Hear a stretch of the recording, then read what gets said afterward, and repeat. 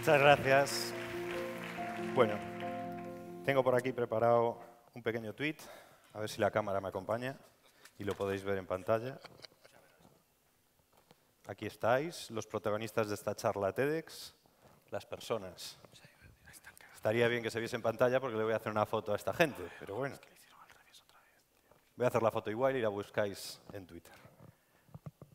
Uf, cuánta luz. A ver si salís. Cuidado. Un saludo. Venga, perfecto. Muy bien. Con este tweet con el que empiezo la charla, empezamos y arrancamos una cadena de comunicación con efectos únicos. Primero, acaba de llegarle el tweet a más o menos mil personas. Primer efecto único, difusión del conocimiento. Hemos llegado a mil personas que igual no saben qué es esto de TEDx y van a investigar, informarse, y igual el año que viene están por aquí. Segundo efecto, muchos de vosotros buscaréis el tweet, porque ya os lo he dicho, y lo buscaréis, y lo haréis vuestro, lo retuitearéis y le añadiréis algún comentario. Si me podéis coger la tableta por aquí, seguimos en pantalla. Gracias, Lorena. Algún comentario que estará cargado de sentimientos. El primero que se me ocurre o que se me viene a la mente es el de alegría. Habrá alguno que dirá, oye, qué bien nos lo estamos pasando aquí en TEDx Galicia. Perfecto. El siguiente comentario será de envidia. Algunos que no han podido venir dirán, joder, yo en el chollo, viernes por la tarde, y vosotros en TEDx. Qué envidia. Seguro que hay algún crítico por el público que dirá, aquí está, el típico, buscando retweets fáciles, gratuitos y rápidos. ¿no? Habrá alguno que se buscará en la foto. Ahí estoy, en primera fila, segundo por la derecha. Bueno, ahí hay una carga potente de ego. Mis familiares, mis amigos, la gente que me quiere que está por ahí, seguramente me dará ánimos. Venga, por ello, seguro que puedes. Saldrá genial, fenomenal. Lo que acabamos de hacer en estos primeros minutos de charla es aprovechar las herramientas tecnológicas disponibles para transmitir, comunicar sentimientos, sensaciones, conocimientos. Marcos no lo dijo, pero yo vengo a hablaros de esto. Vengo a hablaros de qué pasaría si Facebook cerrase mañana. Led Facebook, led cualquier red social. Imaginároslo por un momento. Desde, hace, desde hace seis años, más o menos, dedico mi actividad profesional a esto del marketing digital, las redes sociales, social media, toda esta burbuja. Y estas últimas semanas, mientras preparaba la charla, me he dado cuenta de una pequeña conclusión que me parece importante compartir con vosotros. La clave en esto de las redes sociales son las personas. No estamos hablando de tecnología, de Internet, no, ni de futuro siquiera.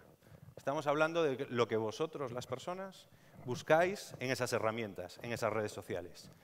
Relacionaros, buscáis estar conectados. Si nos fijamos un minuto en esta foto, define perfectamente cualquier proceso de comunicación. Hay un canal, que son las latas y el hilo. Hay un mensaje, que sabe Dios cuál es. Y hay dos elementos que son fundamentales en cualquier proceso de comunicación. El emisor y el receptor, las personas. La burbuja de las redes sociales nos ha estado intentando convencer de que las herramientas eran lo importante. Facebook, Twitter, LinkedIn, no sé qué. Pero yo creo que no.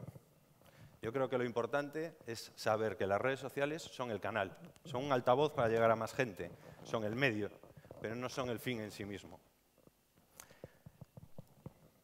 Y todos vosotros buscáis un momento de la verdad en esas redes sociales. Y el momento de la verdad en esas redes sociales es desvirtualizar, es llegar a establecer conexiones sociales. Nokia lo tenía muy claro hace 10 años. Fijaros ahora dónde está en este nuevo paradigma, fuera de, de juego.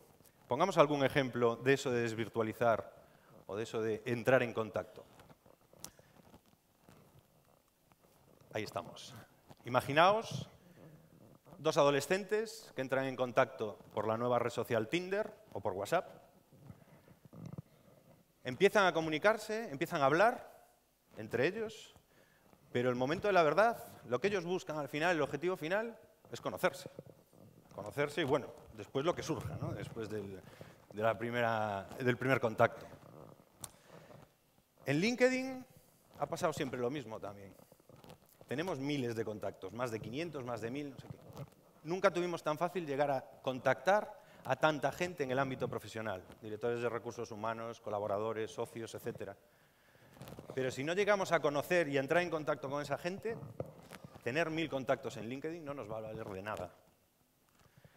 Aún no he conocido a nadie que haya hecho una compra o haya llegado a un acuerdo con una empresa en una tienda o en una página de empresa dentro de Facebook. Los acuerdos, los contratos, al final se firman en persona. No os quiero convencer de que las redes sociales y las herramientas que tenemos ahora son las mismas que hace 50 años. Lógicamente, tienen muchísima más eficiencia, llegamos muchísimo más. Pero bueno, sí que es cierto que si nos vamos a 50 años atrás o más,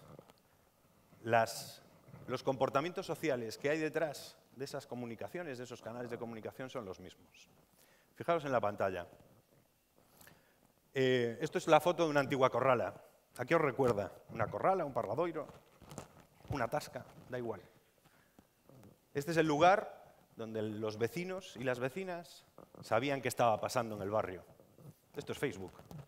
Exactamente igual.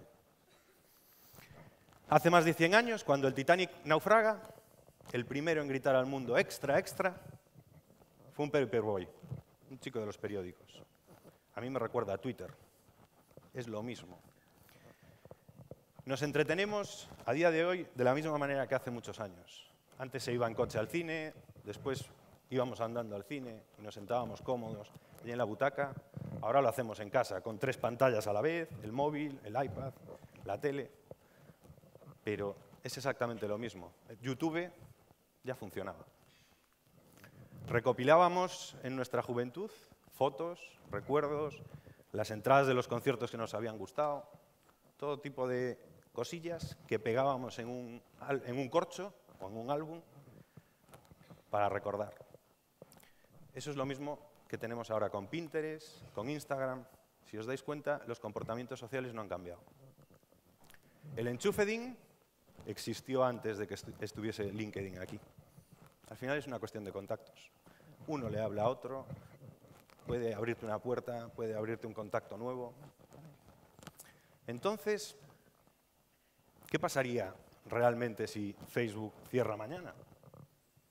Bueno, no os preocupéis, nos quedaría Google Plus. ¿Algún usuario activo de Google Plus en la sala? Bueno, aquí hay dos valientes por aquí. Venga, un aplauso, que cuidado, ¿eh? Gracias, chicas. no, es broma. A ver, en serio. Imaginaos que cierra Facebook o cualquier red social mañana y lo que nos quedaría es un montón de cosas. Nos quedaría volver a hacerle caso a nuestra pareja mientras estamos en el sofá y no estar con el móvil. O a nuestros hijos, nos quedaría llamar a nuestros colegas, tomar un café de un par de horas y saber qué está pasando realmente con su vida. Incluso, que no tengo foto, pero creo que es importante ahora que se acercan las Navidades, escuchar a nuestro abuelo contarnos por enésima vez qué hacíamos cuando éramos pequeños en la cena de Navidad. Gente está ahí con el móvil. Y podríamos recuperar una habilidad social que teníamos, que era acordarnos de los cumpleaños de la gente coger el teléfono, pegarles un toque y felicitarles. Es una pasada. Eh, vamos a leer, por si acaso arriba no se ve. Esta foto me la encontré hace unos días en internet y me pareció muy buena. Es un mantel de un restaurante de Madrid y pone, si coloca su teléfono aquí sin levantarlo durante el tiempo que esté en la mesa, podrá acceder a la primera aplicación que le permite compartir el tiempo con los demás y disfrutar de la comida con los cinco sentidos.